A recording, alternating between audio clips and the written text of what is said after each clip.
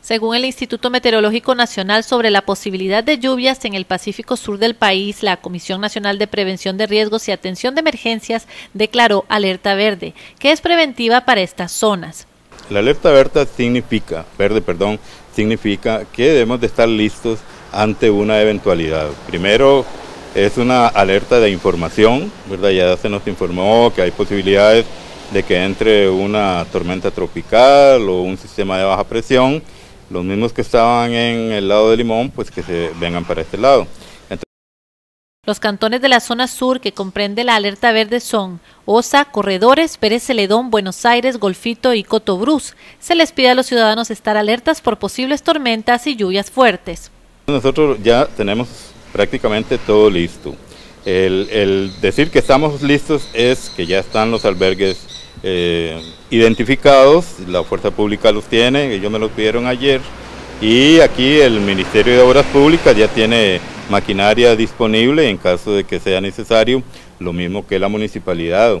En primera instancia, cualquier alerta entrará al 911, que es el teléfono de emergencia, y de ahí nos comunican a nosotros, entonces ya nosotros empezamos a movilizarnos. Es una alerta por si se diera el caso, si las personas viven en zonas de riesgo deben de estar pendientes por posibles derrumbes o desbordes de agua y ante cualquier situación insisten que llamen al 911 para informar primero.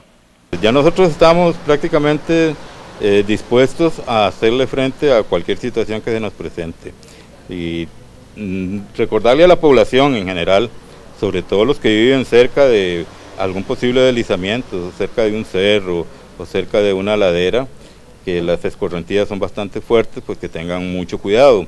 Y los que están a la orilla de los ríos, pues también que tengan mucho cuidado y que en el momento que vean que sobrepasa el nivel del cauce normal, pues que inmediatamente nos avisen para hacer las evacuaciones de prevención para no lamentar tragedias humanas. La Comisión Municipal de Emergencias, en conjunto con el Ministerio de Obras Públicas y Transportes, están preparados ante cualquier eventualidad con la maquinaria y las estrategias correspondientes.